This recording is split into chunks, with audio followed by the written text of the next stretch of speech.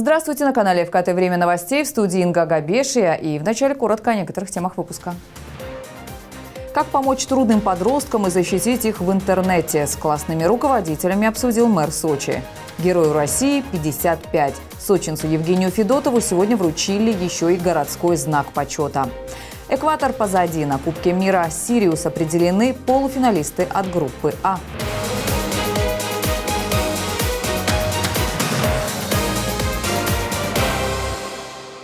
Авроре усилят стены и сохранят исторический облик. О реконструкции Краснодарского кинотеатра губернатор Кубани рассказал Сергей Галицкий. На встрече обсудили детали развития краевого центра. Вениамин Кондратьев заметил, что для столицы региона сохранение «Авроры» действительно важный вопрос. Жители внимательно следят за судьбой исторического здания, которое снова должно стать визитной карточкой Краснодара. Местные власти окажут всю необходимую в этом вопросе помощь, заявил глава региона. Напомню, что Сергей Галицкий в качестве инвестора занимается восстановлением одного из главных городских символов. Специалисты уже закончили полное обследование здания. Теперь за работу возьмутся архитекторы. Они разработают проект всех конструктивных изменений. По расчетам экспертов, строители могут выйти на объект через 6-7 месяцев.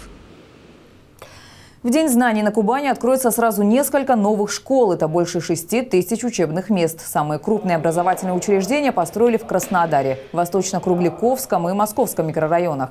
Также современные условия создали в Славянске на Кубани. Там школа рассчитана на 825 мест. Вопросы развития системы образования на личном контроле держит губернатор. За последние четыре года в крае появилось 26 новых школ. Но это не предел. Население региона растет, а значит нужны дополнительные образовательные учреждения. Вениамин Кондратьев посетил две школы, которые были построены с нуля. Новая школа в поселке Южном, пожалуй, одна из самых долгожданных в крае. До этого здесь было лишь одно учебное заведение для начальных классов. Остальным детям приходилось ездить за знаниями в Краснодар. В начале прошлой недели в социальных сетях появилось видео, где окна при открывании, как говорится, ходили ходуном. Кадры были сделаны сразу после их установки, на второй день. Сегодня мы решили проверить, как устранили недочеты. Поводом для беспокойства стали эти огромные витражные окна, установленные в библиотеке. Пользователи соцсетей усомнились в качестве строительных работ, однако сегодня мы видим, что окна установлены достаточно прочно, а также здесь установили специальные металлические ограждения. Сегодня здесь уже завершены строительные и отделочные работы, однако сроки затянулись из-за прошлого подрядчика. С проверкой школы посетил глава региона. Рабочий наводит лоск пока в пустых кабинетах. В ближайшее время здесь должны установить мебель и оборудование. Губернатор поручил ускорить этот процесс, ведь за парты здесь должны сесть 1300 учеников. Идет сейчас поставка оборудования, очень много лотов, победили разные поставщики вообще с, и не из Краснодарского края, но мы по телефонному режиме вроде бы понимаем, что успеваем в основной части оборудования все поставить. Если есть график, если есть четкий алгоритм, по которому мы все вместе с вами шли, все вместе, значит мы должны прийти к результату. Об этом я уже не раз говорил. В другой школе, не менее долгожданной, все уже готово к приему учеников. Образовательное учреждение на улице Байбакова в Краснодаре оборудовано так, что может позавидовать любой столичный лицей. И пока остаются считанные дни до начала учебного года, кабинеты занимают педагоги. Кажется, такой школе они и сами радуются, как дети. Классы оснащены по последнему слову образовательной техники. Даже правила безопасности дорожного движения изучать в таких кабинетах не скучно. На данном макете э, смоделирован пешеходный переход, а также светофор, который также установлен здесь. Видите, переключается свет, красный, желтый, зеленый. Видите, установлены знаки, где перейти можно, где перейти категорически нельзя. Вот такие вот э, самые разные модельные ситуации будем прорабатывать с детьми. Наряду с привычным русским языком и математикой школьникам будут преподавать и робототехнику для новых изобретений. Все необходимое в одном кабинете. Это очень необходимо для ребят. Во-первых, это мелкая моторика развивается. Во-вторых, это программирование. Во-вторых, это механика. Это просто то, что вы откажете в жизни. Они будут их не бояться, будут ими управлять, работать с ними. И когда ты знаешь, на что ты идешь, ты знаешь, что перед тобой устройство, как его сделать, как его настроить. Перед началом учебного года образовательное учреждение сегодня также посетил Вениамин Кондратьев. Глава региона осмотрел классы и пообщался с преподавательским составом. В школе созданы все условия, чтобы найти себе занятия по душе, уверен губернатор. В соседних кабинетах программирования программирования, рядом традиционные классы технологии, где мальчики смогут научиться обработке металла или дерева, а девочки – новым рецептам и шитью.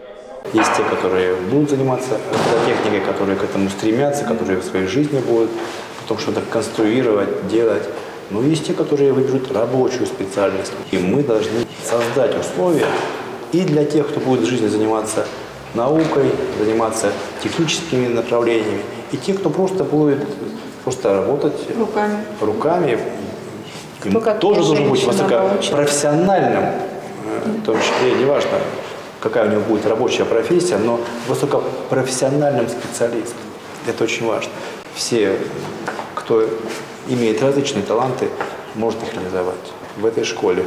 Школа, из которой явно не захочется уходить. Все в этом образовательном центре сделано так, чтобы детям было интересно и комфортно. Чего только стоит большой спортивный зал со скалодромом, где есть весь необходимый инвентарь для занятия футболом или волейболом. Вениамин Кондратьев отметил, что эту площадку необходимо использовать для внешкольного досуга. Например, открыть здесь различные детские секции. Игровой зал.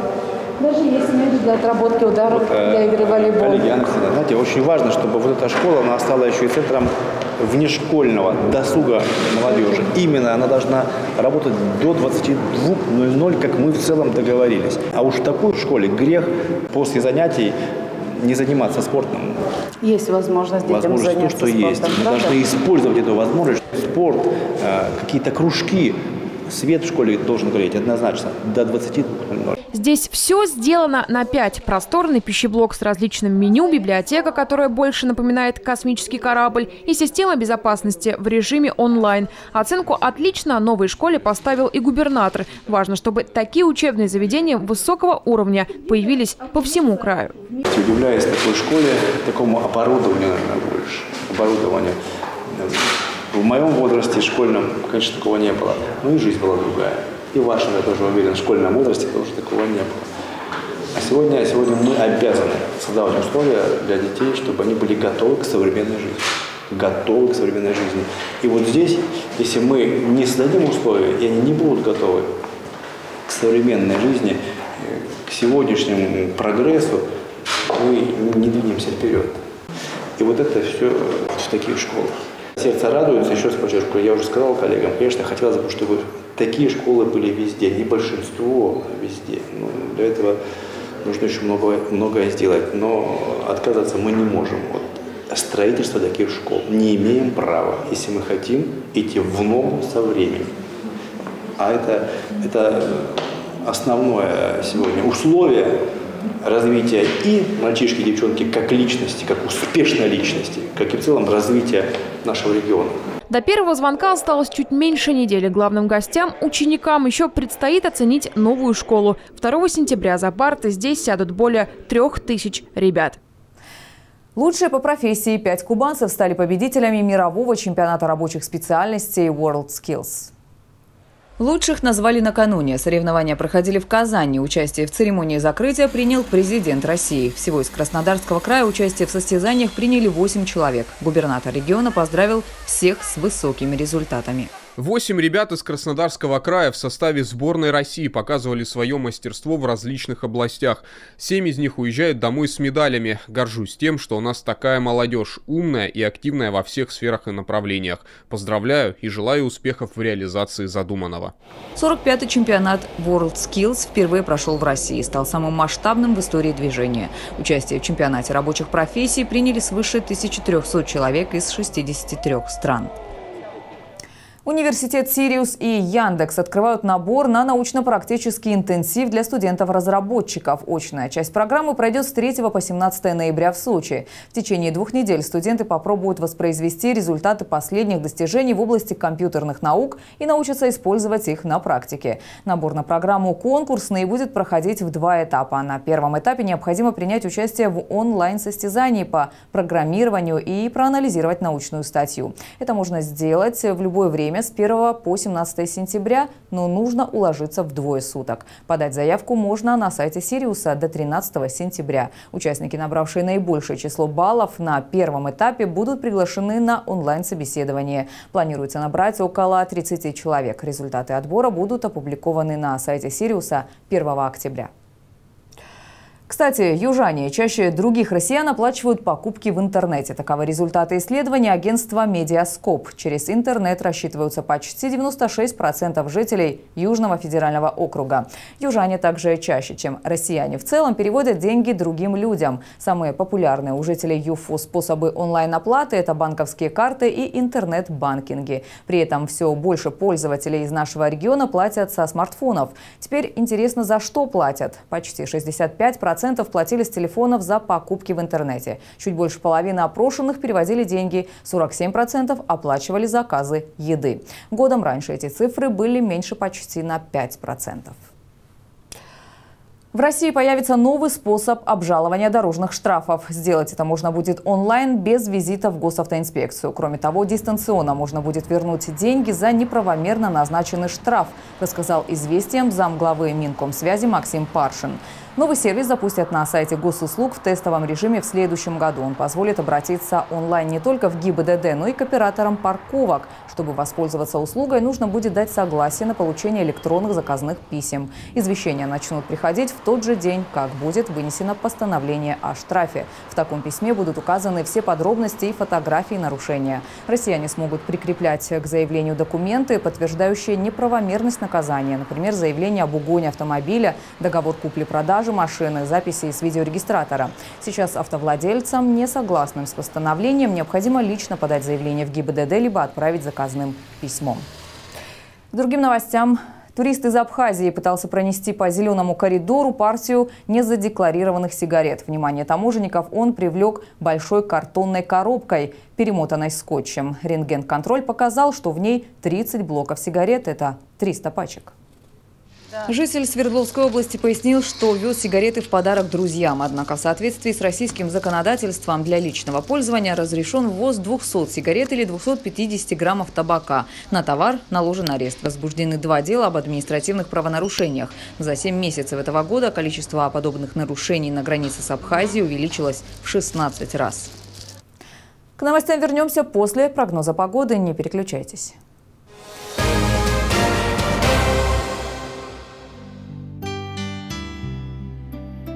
29 августа в Сочи переменная облачность. Температура воздуха ночью плюс 21, плюс 23. Днем 26-28 градусов выше нуля. Температура морской воды плюс 26. Организацию профилактической работы с несовершеннолетними обсудили педагоги и эксперты в рамках социально-педагогического фестиваля «Образование». Особое внимание на встрече уделили проблемным подросткам. На учебный год задачи для сотрудников образовательных учреждений уже определены, а на этом совещании эксперты рассказали о том, какую работу необходимо проводить педагогам с трудными подростками профилактика девиантного, суицидального поведения, э, пропаганда здорового образа жизни. Э, Все надо начинать с раннего выявления. И в этом нам помощники, конечно же, замы по воспитательной работе, классные руководители, социальные педагоги и психологи. Чем занимается ребенок, каковы его интересы, каково его окружение, что его волнует, интересует, кто у него в друзьях. Вот это как раз и является первичным выявлением. Выявить интересы ребенка или подростка, как отметили специалисты, специалисты сегодня легко с помощью социальных сетей, но при этом сами соцсети становятся фактором риска. Ведь в интернете школьники – легкая добыча для злоумышленников. Также на совещании обсудили, как выявить у ребенка склонность к суициду и как с этим бороться. Для каждого из трудных подростков требуются наставники. Это зона риска. Вчера мы собирались по тем деткам, которые у нас уже стоят на учете, вот, и они совершили уже какое-то правонарушение. Это не страшно, если будет хороший наставник, поэтому мы говорили вчера о наставничестве, и каждый этот ребенок, а их 300, он должен получить хорошего наставника, который его заберет, Глава города уже поставил задачу педагогам выявить детей из неблагополучных семей, трудных подростков. Это необходимо для того, чтобы оказать материальную и психологическую помощь. Для того, чтобы трудные дети росли в здоровых условиях, к ним необходим особый подход. В этом учителям помогут и наставники, и правоохранительные органы, и даже родительские комитеты. Галина Моисеева, телекомпания ФКТ. Мечты сбываются, и особенно приятно, когда это происходит в канун праздника. Ко дню знаний девятилетние сочинки подарили смартфон и плазменный телевизор.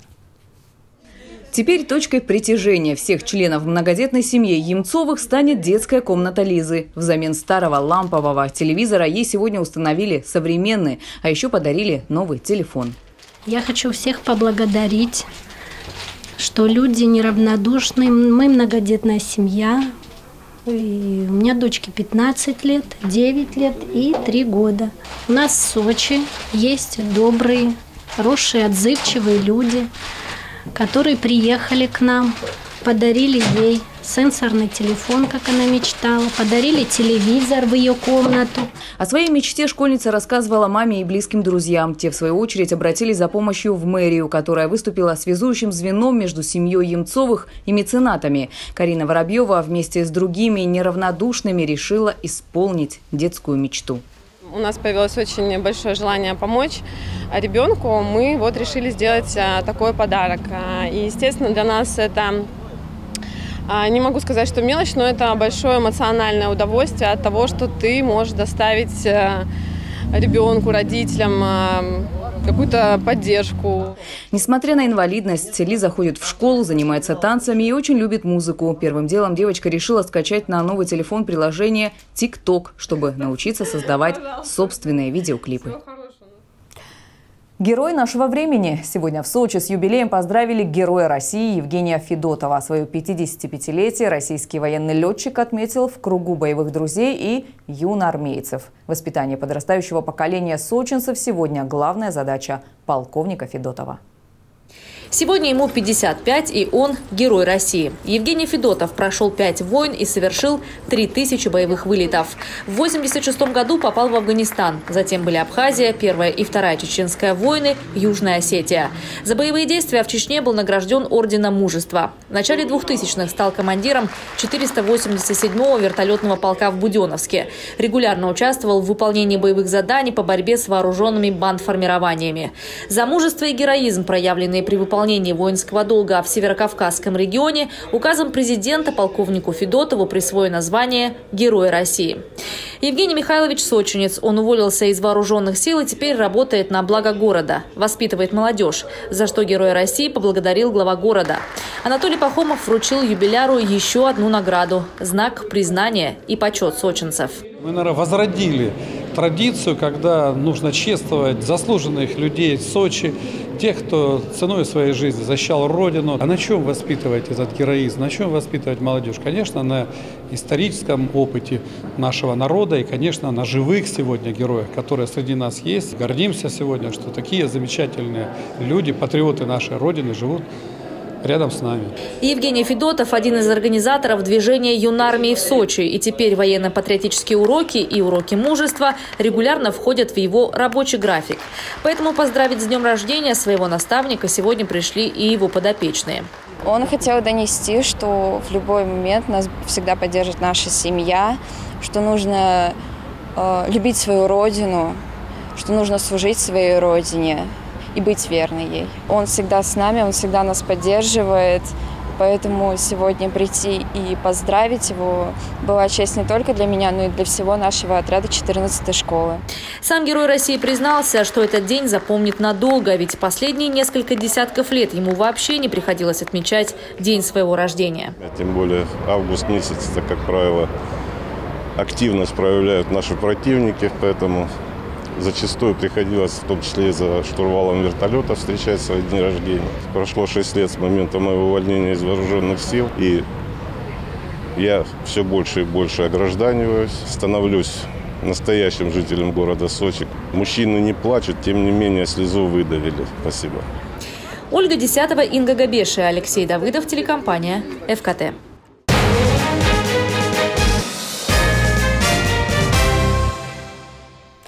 Миллиард рублей на малобюджетные спортивные комплексы и центры единоборств. На строительство этих объектов со следующего года на Кубани предусмотрят обязательное финансирование. Об этом губернатор рассказал на встрече со спортсменами, которые представляют Краснодарский край. С победителями международных соревнований Вениамин Кондратьев пообщался в неформальной обстановке. Говорили не только о недавно завоеванных наградах, но и о проблемах в отрасли. Особое внимание стоит уделить тренировочному процессу, для этого нужна современная инфраструктура. Сейчас на Кубани занимаются по 38 основным видам спорта. Мы южный край. Давайте посмотрим на то, на те виды спорта, которые нам уже принесли пьедестал. Футбол, гандбол. То есть как бы это такой вид спорта, который, который легендарная часть, которые максимально на Кубани культивировались и дали результаты. И дают результат. Гребля, батут. То есть вот э, гребля, мы же очень по климату комфортный регион для занятия греблей. Поэтому давайте посмотрим на, э, скажем так, золотые наши виды спорта. Золотые, которые на самом деле подтвердили то, что их нужно продолжать максимально развивать. А значит, в них нужно вкладываться. Посмотрите их оснащение этих школ. На самом деле, насколько сегодня, в чем они плавают. Моя первая лодка еще жива. Которая... Ну, о чем мы говорим. Она, конечно, сейчас может быть легендарной считаться и как бы и фартовой, но тем не менее, это может все-таки пора заменять их. Однако развитие, как отметил губернатор, требует не только спорт высоких достижений, но и массовая физкультура. Объекты для занятий должны быть в шаговой доступности. В регионе рассчитывают вовлечь в здоровый образ жизни как можно больше людей. Так, к 2024 году в Краснодарском крае, согласно НАЦ-проекту, заниматься спортом должно больше половины взрослого населения. Экватор позади. На Кубке мира «Сириус» определены полуфиналисты от группы А. Сборная канадской Альберты с разгромным счетом обыграла Давос и одной своей победой выбила из дальнейшей борьбы и швейцарцев, и шведов. Шведский мода в матче против Лока уже не претендовал на выход в полуфинал, но ярославцам не помешало одержать очередную победу. Без единого проигрыша на групповой стадии чемпионы МХЛ выходят в полуфинал с первого места.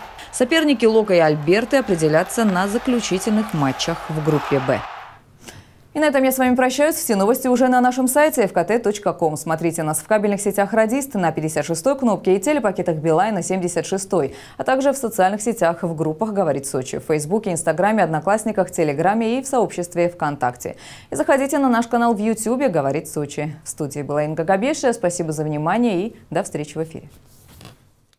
Одежда ведущей предоставлена мультибрендовым магазином российских производителей «Сезоны». Это новые тенденции, качественные материалы и безусловный комфорт. Найдите свой стиль по адресу улица Парковая, 17.